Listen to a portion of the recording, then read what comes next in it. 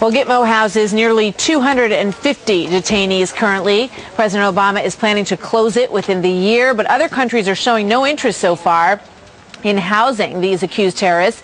Some of them, as you know, are the worst of the worst, including this man. Confessed 9-11 mastermind Khalid Sheikh Mohammed is currently at Gitmo. Abdul Rahman al-Nashiri uh, is also the man who is behind the uh, Cole, USS Cole bombing. So one idea that's being floated here is to keep them in U.S. prisons. Leavenworth has been named. Uh, so has Colorado's Supermax prison as another possible facility to put these 250. But Republican Congressman John Shadegg of Arizona has a different idea. He says just say no. He is proposing a bill that would keep Gitmo prisoners off U.S. soil, period.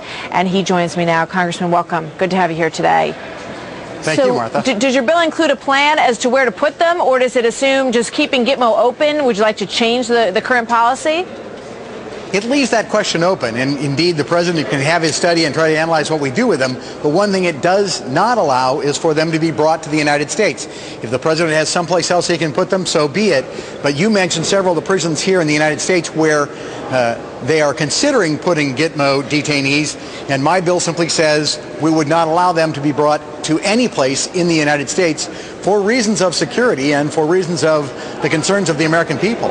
Why are you concerned about those prisons? A, a lot of folks that I've spoken to feel that they would be very secure uh, in those places. Well, my number one concern is the legal rights that they might accrue once they come here. Uh, none of the other bills address the issue of asylum. And the law of the United States is that if you are physically in the United States, you can't apply for asylum. And so my concern is that one of these terrorists might, once they get to American soil, and they're not on American soil now, choose to apply for asylum and be released or be allowed out into American society. Second, uh, I don't personally think that these terrorists are a good influence on our prison system or that we want them in our prison system.